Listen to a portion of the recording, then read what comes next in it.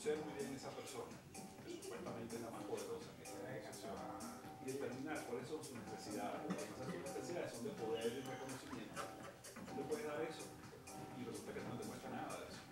Pero vas a obtener de él lo que quieres. Por Exacto. eso el primer paso,